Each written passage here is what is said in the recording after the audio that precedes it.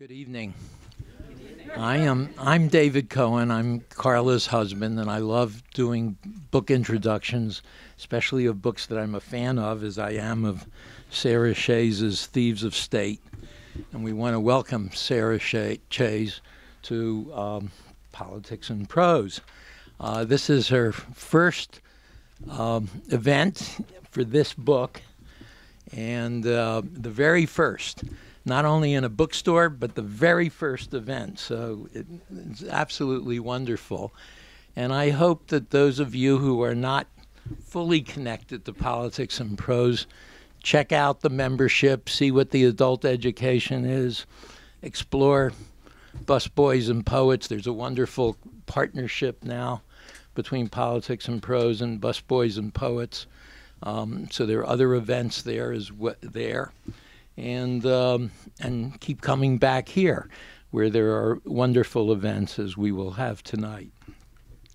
I really wanted to do this book because I've been um, riveted, as I'm sure many of you were, uh, when Sarah reported from Afghanistan.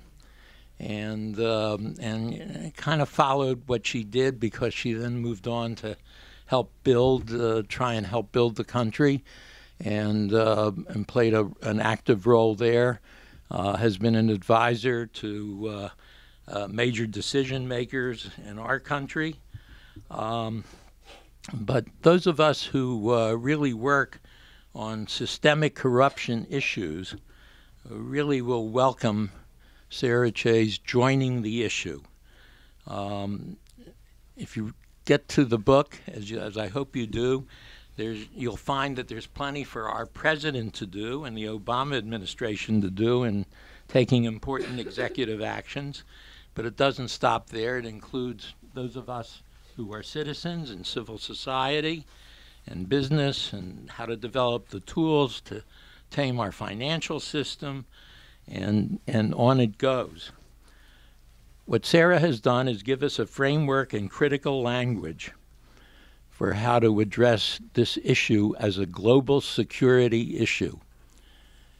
And in doing that, you will appreciate some of the other sidebars here.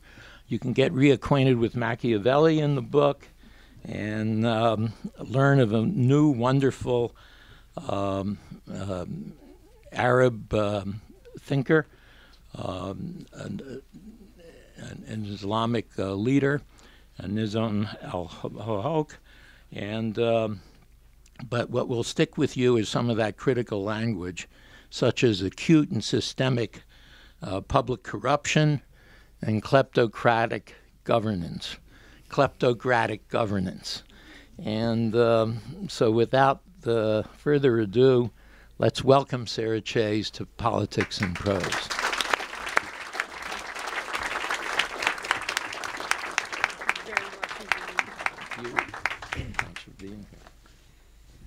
It's a huge pleasure, and uh, I obviously can't begin without uh, really doffing my hat to this institution, which is just a phenomenal institution uh, for which all of us in this city ought to be uh, grateful and admi ad ad admiring.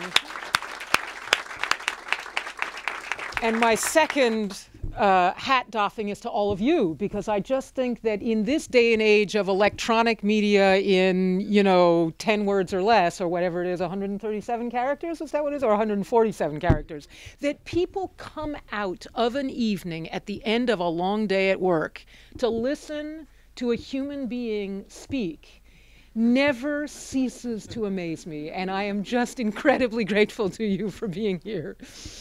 So I wanted to start with just a couple of words, a little bit more embellishment on, on this uh, somewhat odd trajectory that I've had, which um, I, I, think I could start it with um, being a reporter for National Public Radio. I was Paris correspondent, um, covered North Africa, covered uh, the Balk, not Bosnia, but Kosovo. It was interesting in North Africa, and that story is told here. Um, it was Algeria. I don't know if you all remember the horrific civil war in Algeria in the late uh, 1990s. And I remember I was interviewing some journalists because their life was so stunningly difficult. They were, they were. I mean, now it's become much more common to see journalists being targeted in in a very direct way. We were talking about that, and one of them turns to me and says, "You know, this story's over here. The story's over. The story of militant political Islam is over here. It's moved to Afghanistan." I'm like, Afghanistan? You know, this is 1996 or 7, something like that. And I'm like, okay, whatever, you know. Little did I know that, you know, a short, whatever it was, five years later, I would be in a yellow taxi bombing down, you know, a rock strewn, unpaved road from Pakistan into Kandahar, Afghanistan. And boy, did I ever not know I was going to spend the next 10 years of my life there. So that's what happened. Um, uh, I, who was it who just said, Patrick Radden Keefe just said that I went native, and I guess there was a bit of that. And going native in Kandahar, you know, right immediately after the, um, the fall of the Taliban, when nobody had seen a female, let alone a Western female. Um, it didn't take me long to decide that if I wanted to try to report, meaning get out of a car without immediately having 100 people around me, I better start looking like what people expected to see, and that meant an Afghan male.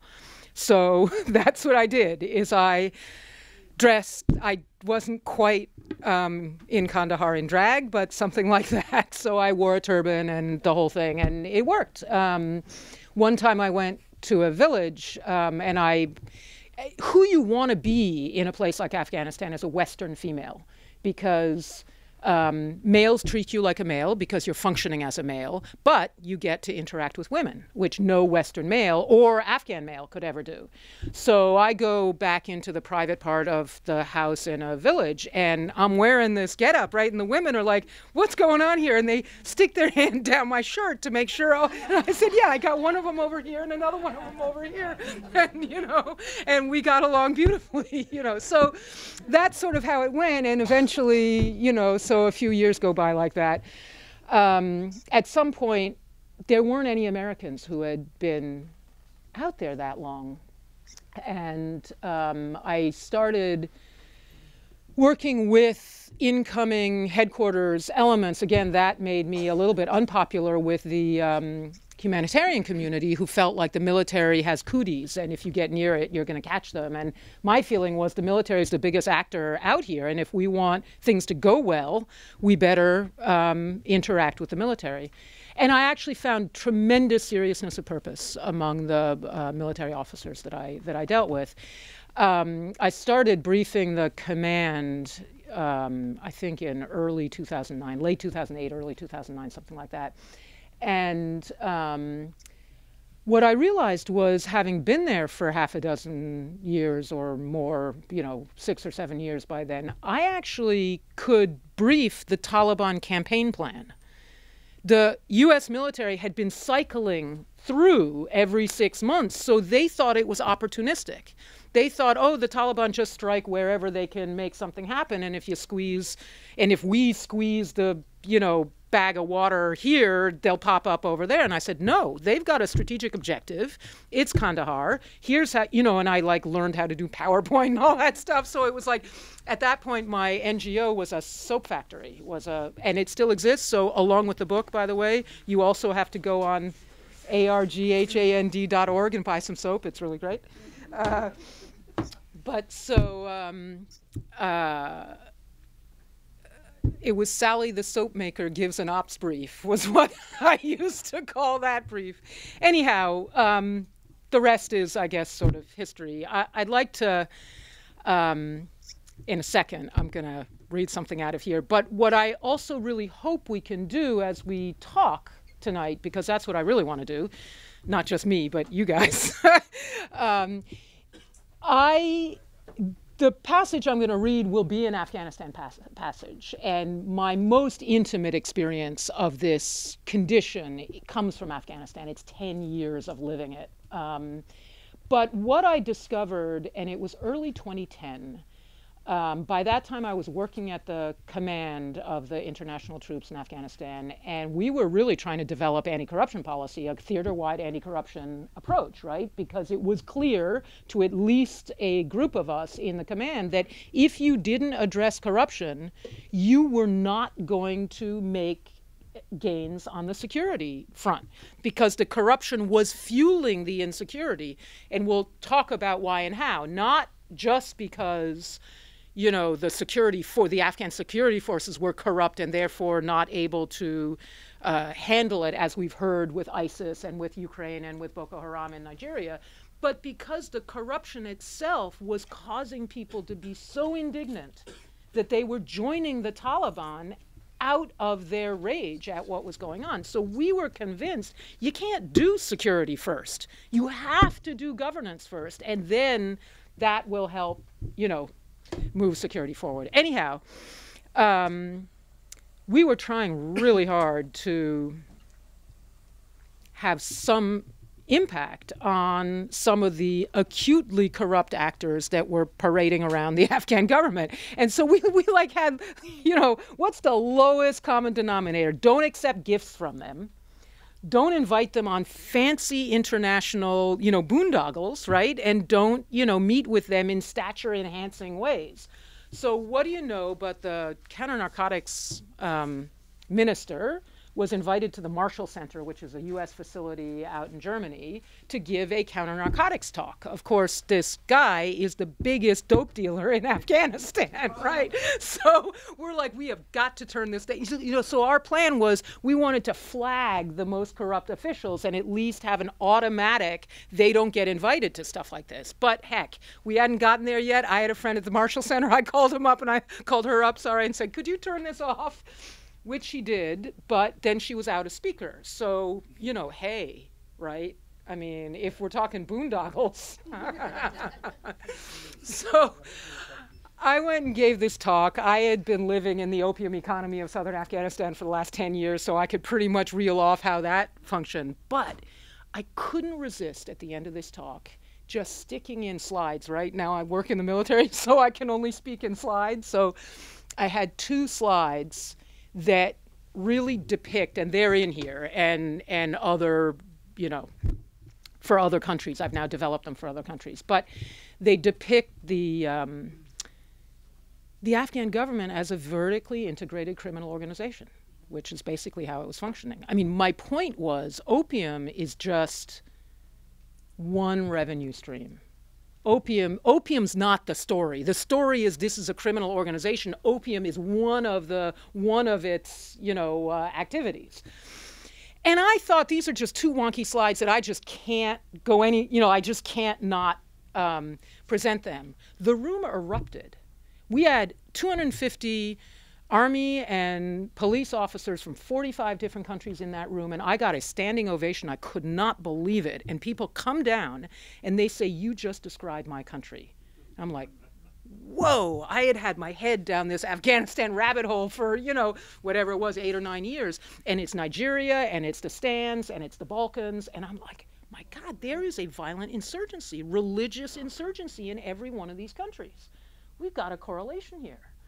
And so that's what, that's the genesis of this book is wow, this is a global phenomenon. And this was early 2010. We hadn't had the Arab Spring yet. We hadn't had, you know, Ukraine yet. We hadn't had ISIS taking over half of Iraq because of the corruption of the Shiite Maliki government. So I hate to be proven right um, on something this painful, but that's it and that's why i think this book is is relevant today because i think it i'm not trying to say corruption explains everything that ever happened in the world. I'm saying it's a theme it's a thread that runs through a lot of these events that has been surprisingly overlooked. So you will find that i focus heavily on corruption here but it's it's not because i think it's the only factor.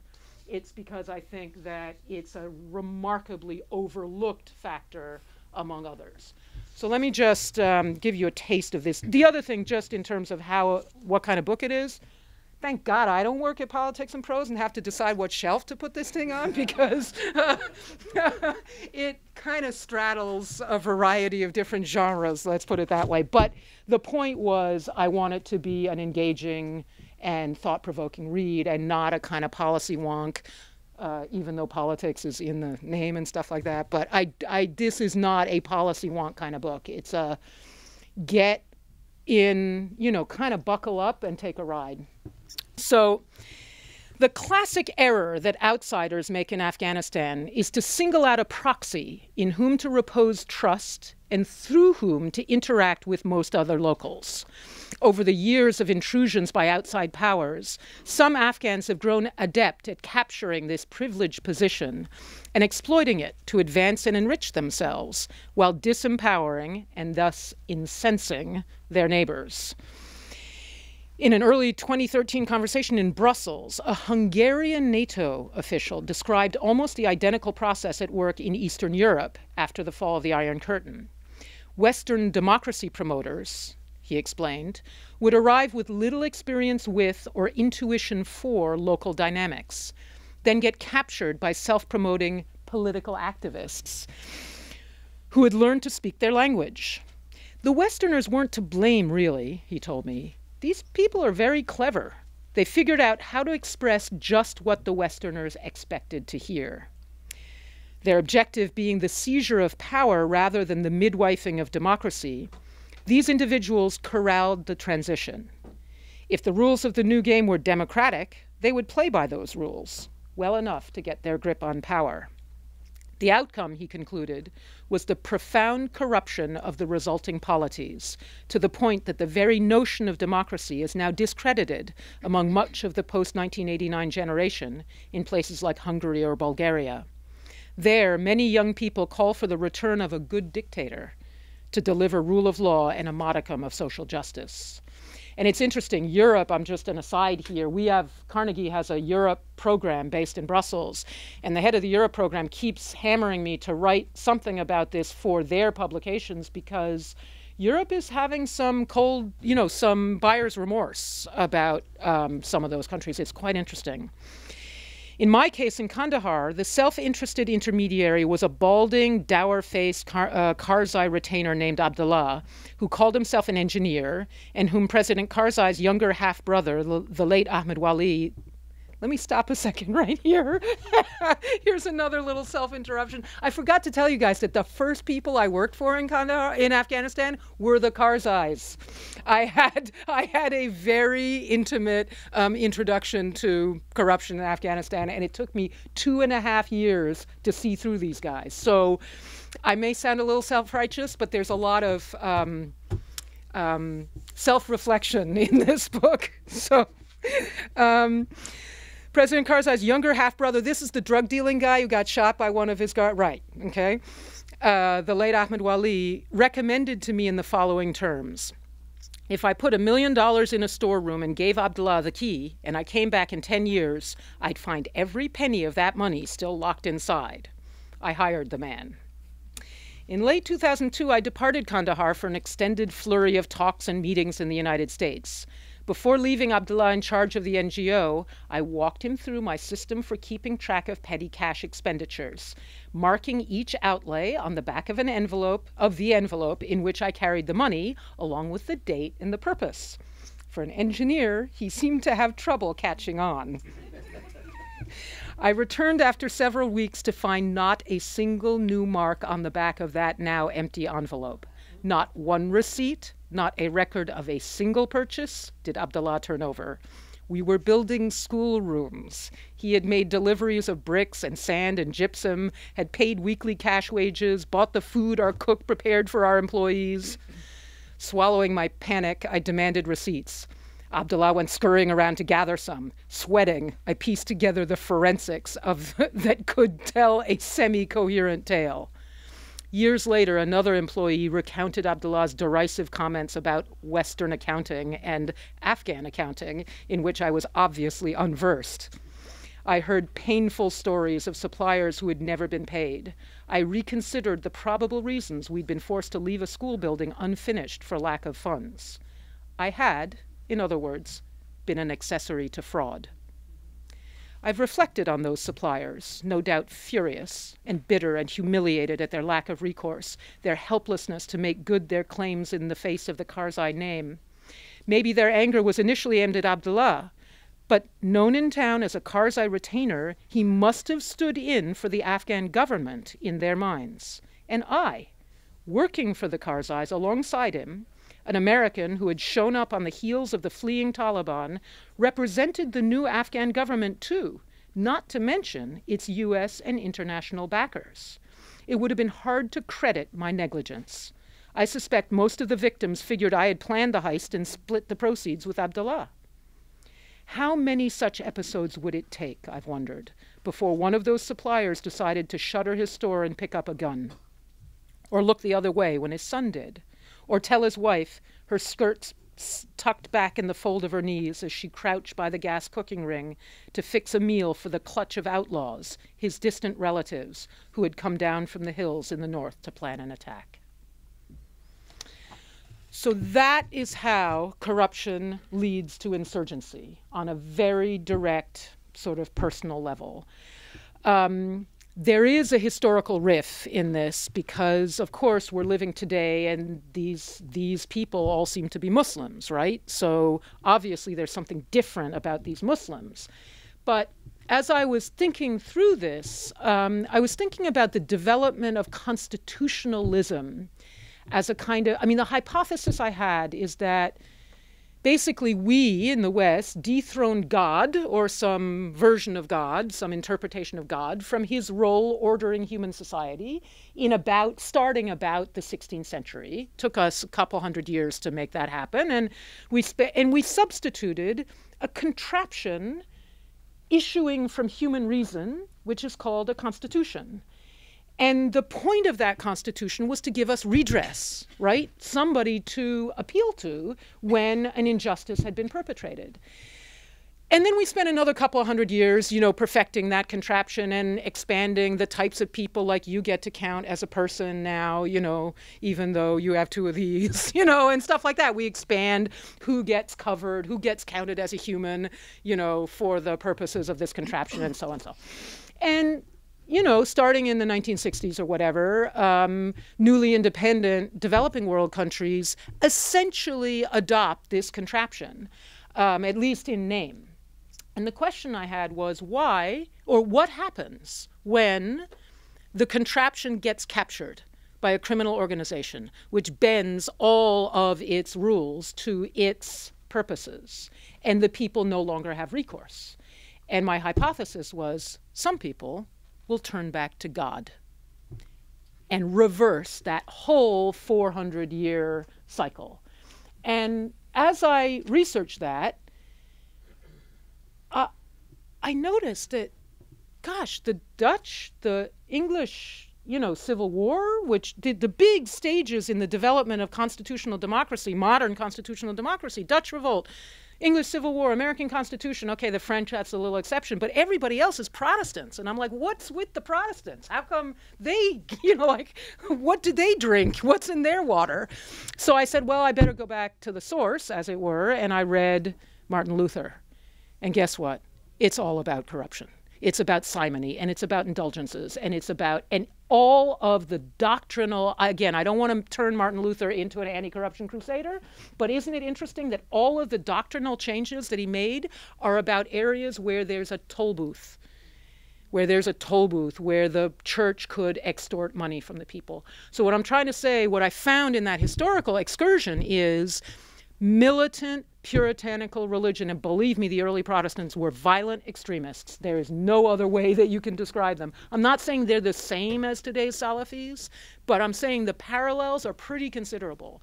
And, um, you know, militant puritanical religion is an, a, a reaction that humans often go through in response to acute lapses in public integrity. Um, I'll finish up just by saying most of this book is about countries overseas, but I don't think this problem begins at the water's edge. I suspect that many of you here don't either. So there is a little epilogue at the end that's called self reflection. Um, that just suggests that although the patterns aren't identical, I believe that the United States today is on this continuum, and I think we need to do something about it, or our republic is doomed. So, with that, I would really like to turn this over to you uh, and turn this into a conversation. Thank you, Sarah. Sarah didn't tell you everything. She she knows some languages bes- besides English and French, uh, and that's Pashto, and that's one of the reasons she could talk with a lot of people, and um, and that's reflected in this book. And if you like um, schemata or forms of graphs or that sort of thing, you can read about the flow of money um, in, in in these books in in, the, in this book in these various countries, plus the old Catholic Church. Yeah, it's not. I'm not a data gal, so in that I I diverge from modern intellectual discourse. I'm not a number cruncher. So these are schemata. I think you're right. right. It's, so they're it's, qualitative. They're qualitative, and and it's therefore understandable to me, and that's a, that's a good test for for me anyway. Uh, so we're going to open it up to questions. Um, there are two microphones. Uh, we're going to try and rotate the microphones, and since this is a public meeting, you know it's a public event. Um, if you're comfortable saying your name, please do and uh, Sarah will take over. Name and any sort of affiliation is always fun if you feel affiliated to something. So there's one mic there, and there's another one here for anyone sitting there, and I'll just I'll go back and forth. Who's first? Me? Yeah, go ahead. Okay. Um, Tony Drexler. I'm an international health consultant. Aha, one of the four industries. I was in Afghanistan. Were you really? Yeah. Uh, working with uh, the Ministry of Health. Mm-hmm uh, when they were cleared by U.S. government to act as a as a conduit for U.S. funds that were subcontracted to NGOs and cleared by the Accountant General's office. But um, that's not the question I wanted to ask you. Um, I wanted to ask you whether whether you think there is an association between, um, I guess, a deification of local leaders mm. and corruption. And I refer back to a, uh, a time I spent in Bangladesh mm. with a local lord. Right. Uh, basically worshipped by all of his constituents and elected to offices every time election came along. And where people would come and bow to him. And, right. Yeah. And a later instance when I worked with him, he was a friend, and I put him on an organization that I was with, um, and then left the organization and left him in charge, and then found that he had pocketed large amounts of money. Right. And my assumption has always been that he felt that it was part of his right as the right of kings to have that money. So okay. great questions. Um, uh, I, I want to take a little detour by the health ministry, which is to say, yes, the health ministry was and the education ministry were, you know, sort of um, blessed by the international community, which never went to hospitals outside of Kabul. You should have seen what the hospital in Kandahar looked like, and you should have seen the doctors in the hospital in Kandahar selling the medicine that they were getting. All the the international assistance is a revenue stream, just like opium it's a revenue stream. And if it's not monitored all the way down to the field, it gets stolen. And so health and education, because it attracted so much international goodwill ended up being, from my perspective, two of the most corrupt ministries, although the functioning in Kabul was seen as quite. Um, quite acceptable. So we can get into that yeah, debate, you know. Should, well, uh, any, anyhow, so that's, but just differences in perspective. Um, on deification, well, of course. The whole, that's exactly what the Dutch started doing and the English continued and we continued, is when divine right of kings, right? Well, divine right is one step below divine kings, and that means they're unaccountable. And so the whole point of substituting a constitution is hey, uh, no matter, you know, sovereignty is with the people, it's not with God and therefore the people get to have oversight. So the the initial historical riff in this book is um, are some excerpts, and this is where Machiavelli comes in. There's a whole body of literature called Mi- Mirrors for Princes, and these are manuals that courtiers or kings themselves wrote for. Um, either new kings or and they all are about how terrible corruption is but there's no there, there's no recourse against it. Basically, what they're saying is what's going to guarantee that you lose your kingdom, even Machiavelli says it, is being corrupt. But there's only revolt or God striking you down or God punishing you in heaven. And by about 15, 30, 40, 50, you know, people in Northern Europe started to feel like, hey, that ain't good enough. These guys aren't scared enough God. We got, you know, we got to, we've got to impose some other types of, um, of, uh, oversight. That being said, I'm just back from Nigeria where I spent quite a bit of time with royalty. And there's a lot of royalty in Nigeria. There's, I mean, there, and I was actually asking people has the meaning of money changed in your lifetime? Very kind of simple, but not so simple question. And what I heard from those guys was that money and the way society values money has so overwhelmed every other social value that um, it, it's more re- it's recent. Like people are saying this is within our generation that before this before the oil boom for example before the sort of deification of money frankly which we're part of here in america um, there was a very different attitude toward money. It was seen, I can't let you do it because there are a bunch of other people, but we can talk afterwards. I'm sorry. Because otherwise, we just have a conversation all night long, and that's not quite fair. But. Um, um, Right. So you're talking about downward distribution. And what I'm saying is that so a patronage system is about downward distribution of resources by someone who does feel a sense of responsibility for his community. The the diagrams that you'll see in this book show that what's different in what I'm seeing today is the money is being extracted upwards. It's the opposite directionality of those vectors. Um, so there's definitely a cultural sea change that's going on in the world. Ma'am. So as you see, kind of long answer, long answer questions. My name is Margaret Green, and um, I lived in Kabul in the 60s. Wow. And in Pakistan in the 80s.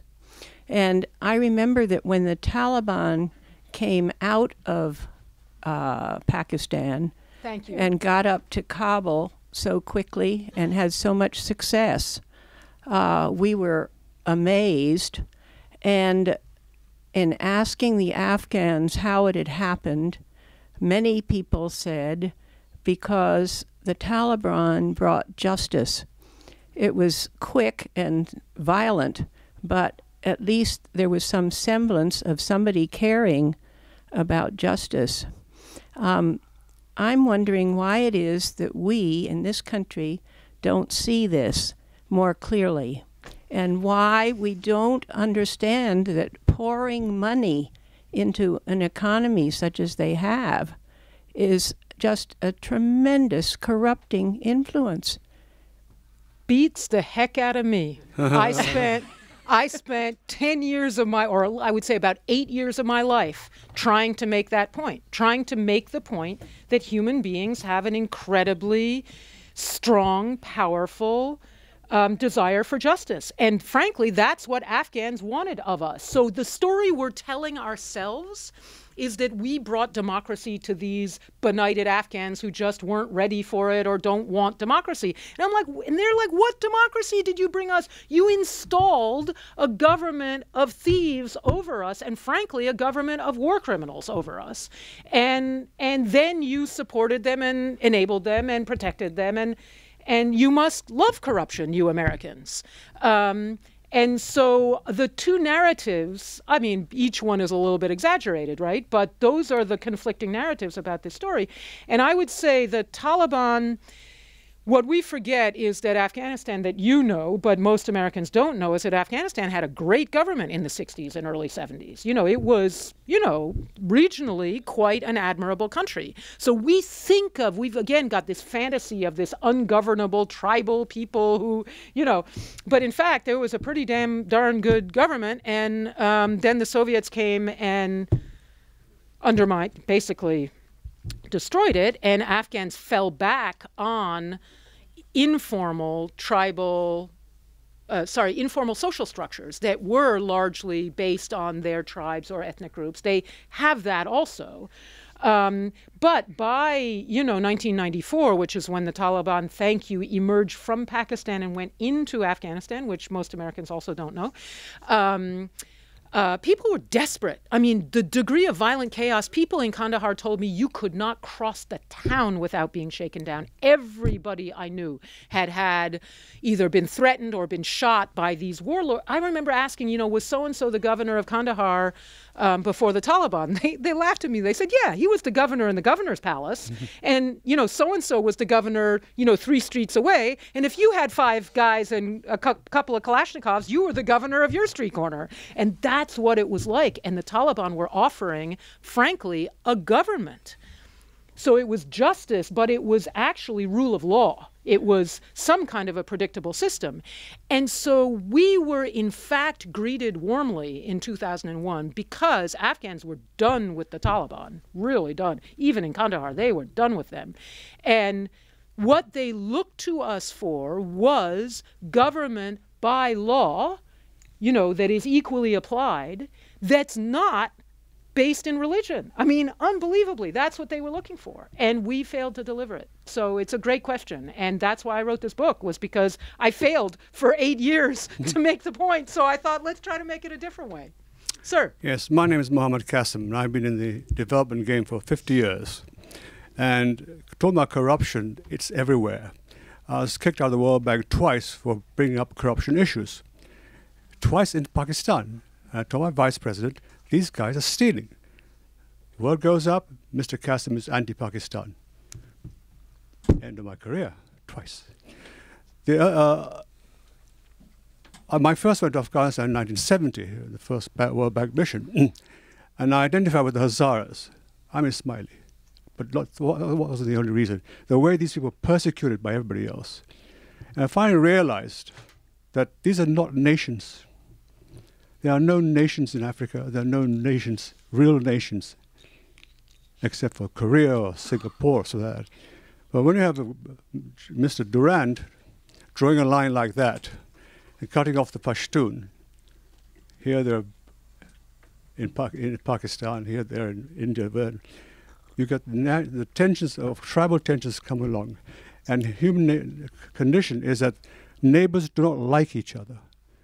A hundred years ago, they slaughtered each other among civilized trenches of Europe. The Russians are doing the same thing right now. It goes on and on and on. And until this tribal or national connections are identified, then your royalty is to your family, your tribe, and your ethnic group, under the under the you know religious cover. Anyway, I, I, I, really enjoyed I really enjoyed your uh, dispatches from Kandahar. I thought you were a terribly noble person. I loved you. I'm glad to see you. Thank you. And with that, I'm actually going to disagree with you. I'm t- I hate to do that, but I actually don't buy the tribalist, as I just indicated, I don't really buy the tribalist analysis of Afghanistan. Um, what I, first of all, there are a lot of people who are prejudiced against a lot of groups of people in the United States of America, right? Does that mean we're not a nation? I don't think so. Um, and what I found is, and it's something that I think Americans can get their heads around better than many other people. Afghans have, at least all the Afghans I interacted with, have a sense of dual citizenship. The notion, are you a Pashtun or are you an Afghan? That's like asking me, are you a New Englander or are you an American? Well, what do you mean? Uh, I'm one because I'm the other. Those are coexisting senses of identity. Am I comfortable with the fact that the state of Massachusetts can govern certain aspects of my life while the United States of America governs other aspects? Absolutely. Th- those aren't exclusive identities. And that's kind of how I saw it working in Afghanistan. So there were the, the lines are drawn in different places. Um, but there is an incredibly strong sense of national identity. I don't know a single Tajik who feels, you know, allegiance to Tajikistan. I don't know a single Tajik who wants to secede or even who wants to see the Pashtun areas of Afghanistan secede. Now, are there language quarrels in Afghanistan? Of course there are. Go to Belgium.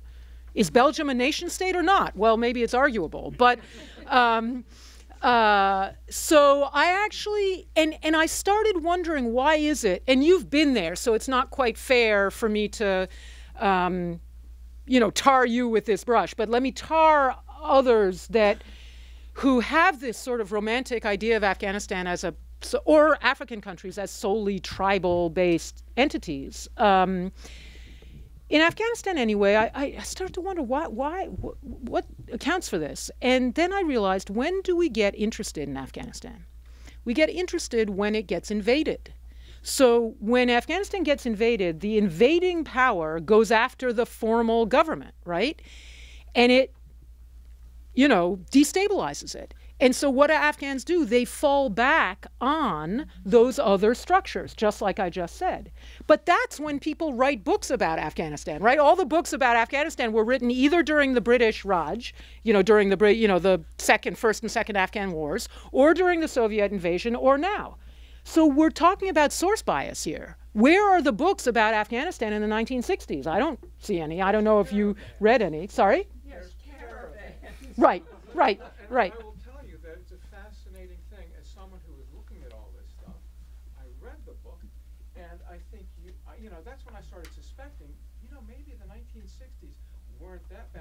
Right. sure, sure. Right. It's 30 years of war, oh. Right, right, exactly. So there's so there's source bias here, so, and I would say similarly in Africa. Um, again, just coming back from Nigeria, you talk about a country that is riven by um, by some of these um, internal divisions. But what I would say is if you scratch beneath the sectarian or ethnic or linguistic divisions, you will find that there's a resource issue and there is an unfair capture of resource issue. And then and that's what the conflict is really about. So I, I very much appreciate the um, the kind words. Disagree a little bit on substance. A final word on you and the World Bank. There's a gentleman also who's mentioned in here who's a pretty interesting character who um, he was the governor of the Central Bank of Nigeria. Have you heard of this guy? Um, his name is uh, Sanusi. Anyway, oh, he's yeah. he's in there.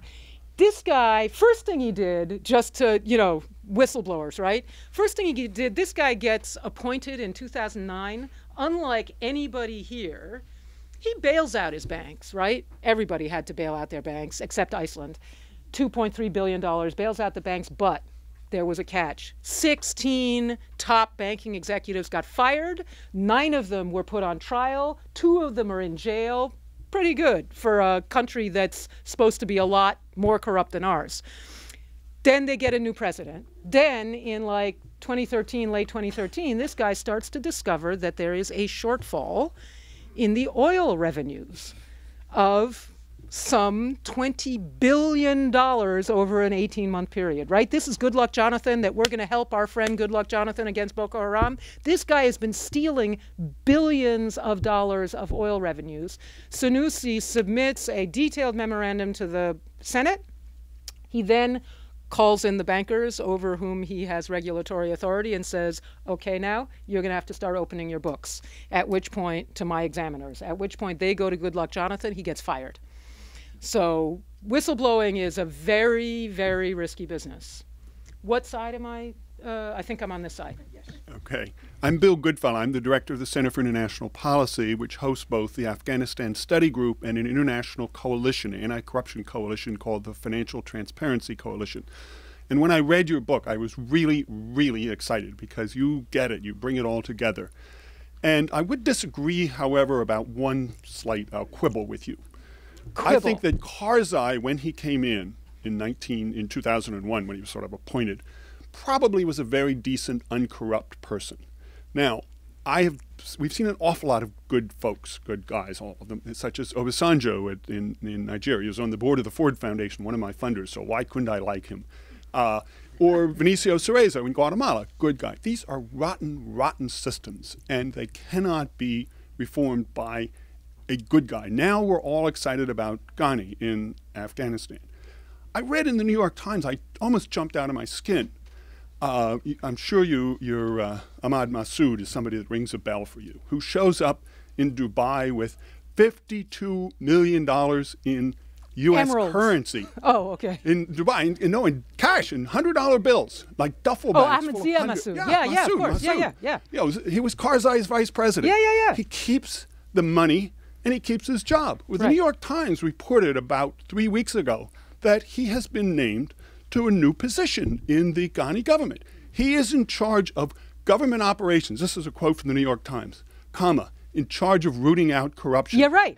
Thank you. Yes, exactly. I oh my God, when I said yeah, yeah, this is right. it's not going to be any Yeah, different. exactly. And we, the United States, are responsible for it. That's my bottom line because we forced Karzai, we're forcing Ghani Okay. to deal with a government of thieves and warlords. So I would say you're not standing up No, yet. no, no, not- no, not- not no, to no, no. Okay. So here's what I would say. I think um, maybe both of us are drawing this a little bit too starkly. I think to say that Karzai was a wonderful person that we corrupted, I don't think that's accurate either. And the reason I say that, I lived in the house. I mean, I know these guys really well. Um, and just judging, I didn't live in Hamid's house, but I lived with, I mean, basically with Ahmed Wali and Qayyum. Those guys did not learn that stuff from us, believe me. So, that being said, um, there was a moment, and I actually have written a book before this one called The Punishment of Virtue, where I do actually kind of show the turning point. And the turning point was in 2003. There was a moment when Karzai actually did try to fire half a dozen warlord governors, and we got in his face and said, Don't you dare, because we were about to invade Iraq or had just invaded Iraq, and we didn't want turbulence. So there is a certain degree, and certainly the incentive structure sele- helped select for criminality. That being said, they were doing this stuff back during the jihad, believe me. So, bit a little bit of six of one, half dozen of the other. We should probably link up at some point. I, I, are- I just wanted to thank thank you, Sarah, for ha- encouraging people to give their affiliations. Bill's part of the Center for International Policy, and its first director was Ambassador White, who recently died, and, and um, an example of an exemplary life as an ambassador and afterwards, and uh, who also happened to grace this lectern. Cool. Uh, but this is an example of the kind of good civil Community. discourse Yeah. and community that we have. Yeah, that's great. Cool. Ma'am, Hi, my name's Jan McAdle. I read books. Um, bless you. Do you buy them? yes, I Bless do. you. Yes, I do. And I'm, I'm keenly concerned with the issue that you're raising. And I wanted to ask you to just pretend you've got a baton, if you would, and um, what who would be in the orchestra that you would put together as front people to come into a country that's in trouble?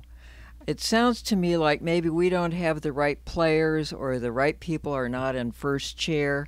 How, what would be the skills and the expertise that you think we should be bringing to bear when we go into countries? I think that's a really, really great question. And the first thing that, um, uh, so so a couple, I won't answer it very concisely, as you already know at this point. I'm not really good at that, but.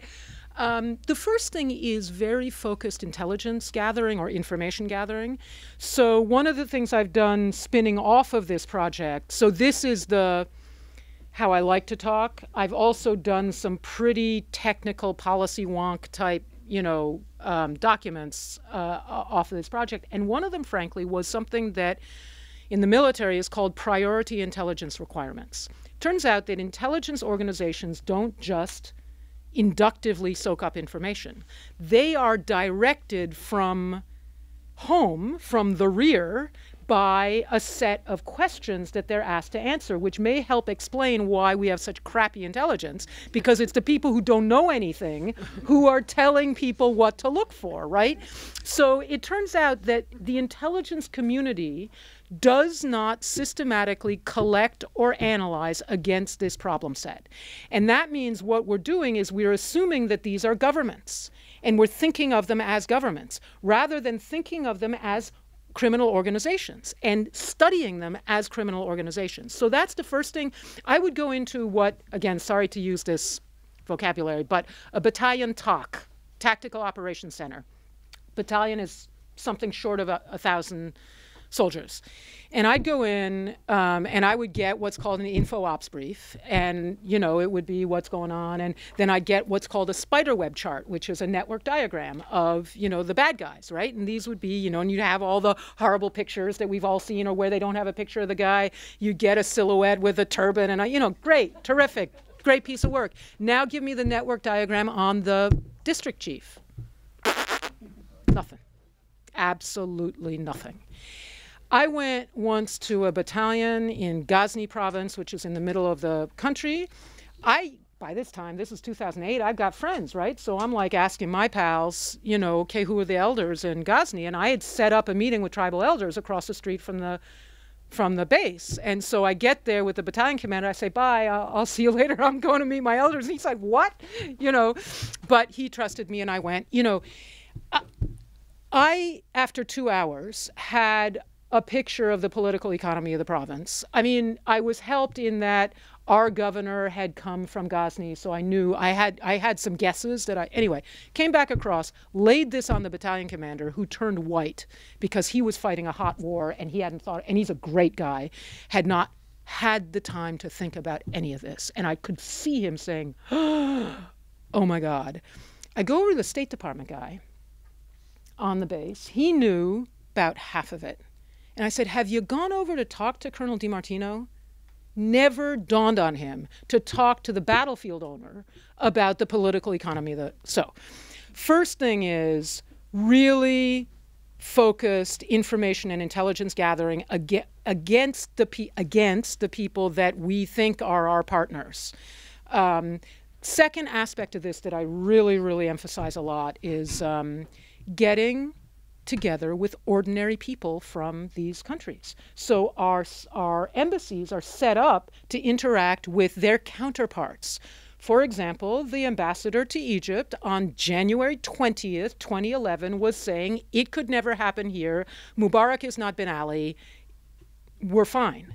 Five days later, that's inexcusable. That is not an intelligence failing. That's an information failing, and it is inexcusable that the U.S. Embassy in Cairo had no idea what was going on in the country. So you need. So that means what do you need? You need people who um, have been in the Peace Corps. Seriously, you need people who are. You need journalists in government. You need people who have training it doesn't come naturally to hang out with people who are really different from you and talk a different language and you know i'm a peace corps right?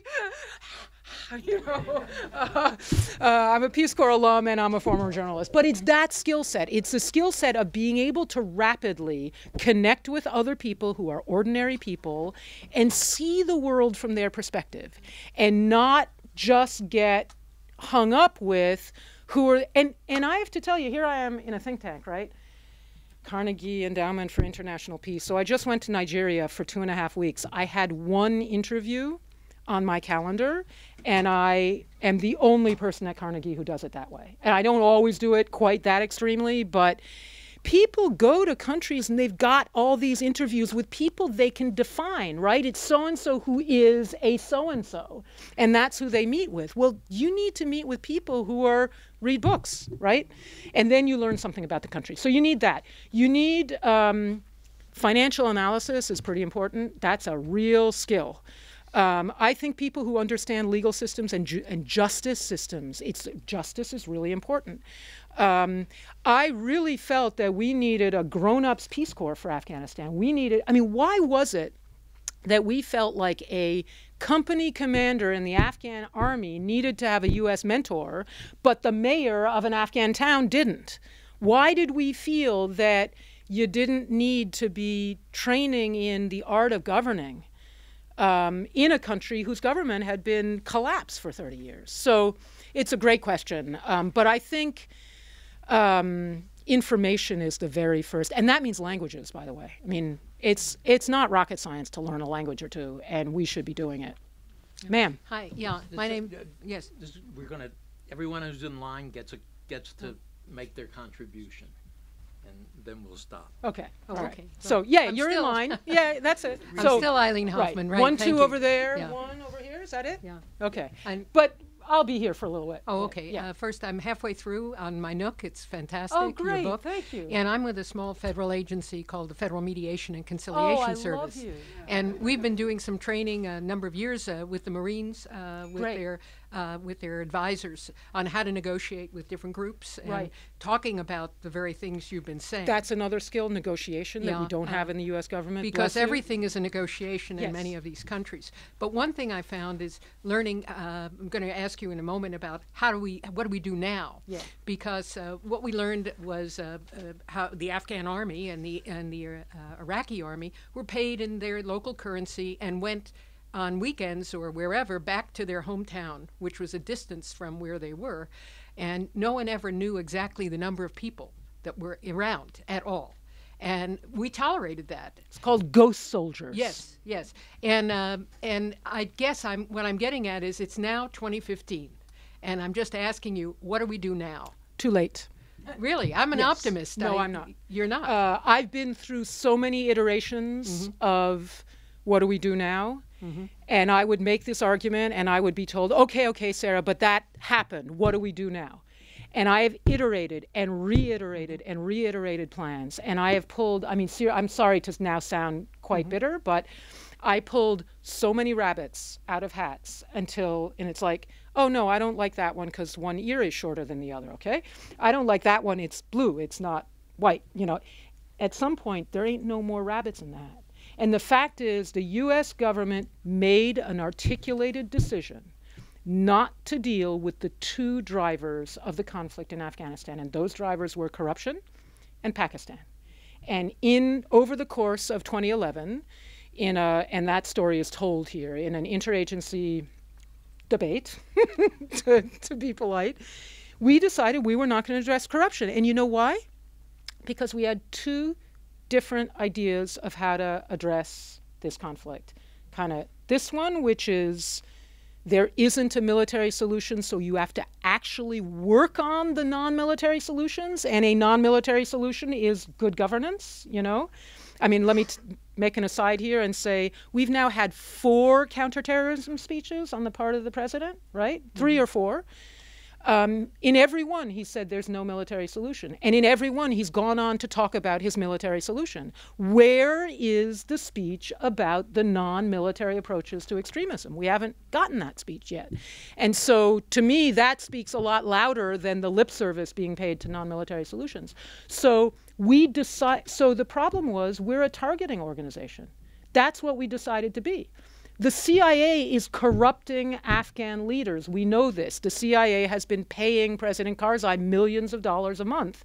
You can't talk to somebody about corruption when you're corrupting him. And that um, was allowed to stand. When, when those two issues, do we care about governance or do we care about um, paying off corrupt people because maybe they'll provide us with some targets that we can shoot, we decided to do the latter. And that, that's what the US government decided to do. And on Pakistan, don't even get me started, right? Imagine the Vietnam War, right? Imagine the Vietnam War, and we are subsidizing North Vietnam.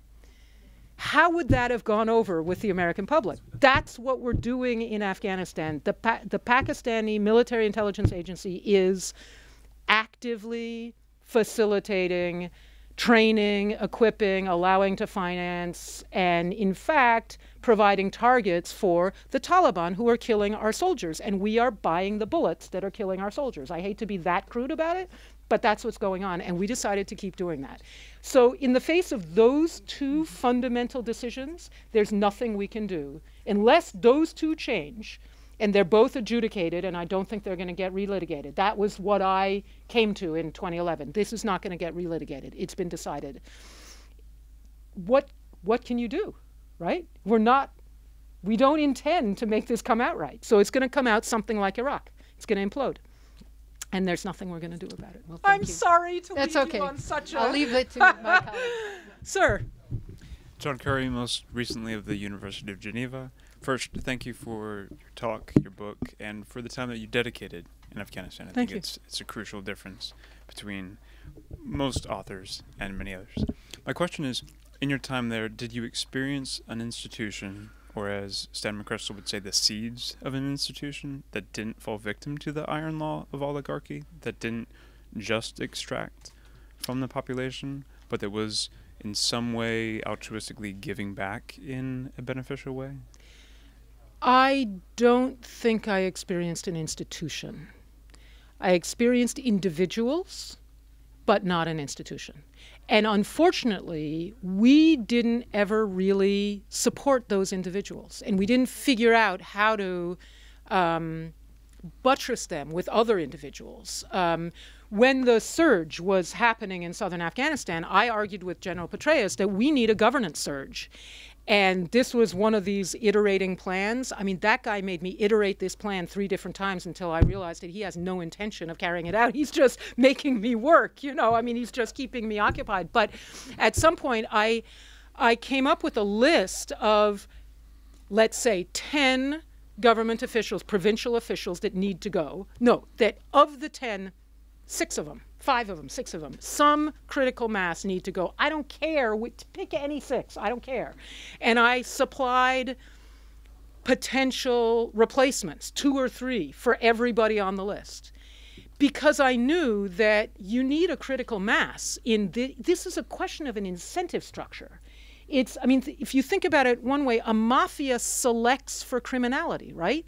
Because it promotes on the basis of effective criminality because the people at the top want more kickbacks. So the guy who's providing them the most kickbacks is the guy who gets who gets promoted.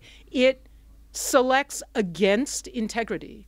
So the more time that went on the less honest people there were in government because they were getting killed because they were getting pushed out because they were not interested in joining anymore. I had people say, I wouldn't dirty my clothes with this government. Anyone with a sense of integrity was staying away from it. So there are plenty of institutions that could play that role, um, traditional as well as formal. Um, but I just don't feel. The other thing that's really interesting is we Americans um, think that we exported democracy to Afghanistan. I mean, what's the signal characteristic of our democracy here, back to constitution building, it's distribution of power, right? Some of us would say that's the signal failing of our government at the moment. Too much distribution of power, right? Too much checks and balances. How did we bring an elective dictatorship to Afghanistan? Why did we think that that's democracy? When we ourselves are born of such a sophisticated understanding of how complicated the mechanism really needs to be in order to guarantee input by ordinary people into their into their collective destiny. So the parliament, for example, exists, but it does not have the kind of power that would be required for it really to serve the people. I'm just an average citizen. But I bet you have a name. I'd rather not. Okay, sorry. I, I, I have a question and I have a quick comment. Yeah. My question is I, I attended last Thursday's talk, The Internet is Not the Answer, where the author was hinting his fears about our future if we don't get a handle on things that you just expressed. And I was wondering for people like me, I like to see things in Hollywood. What movies would you recommend which warn us of the future that could be holding for us if we don't get our house in order? And I was thinking myself of two movies. One is The Handmaid's Tale, and the other is that wonderful movie Soylent Green. Well, thank you for that. I have to confess, um, I don't even have a television. Uh, so I am not um, good on visual popular culture. But one movie that I would uh, recommend is Inside Job about the financial meltdown. Yeah, that's one that I think tells us a lot about the about the corruption in this country.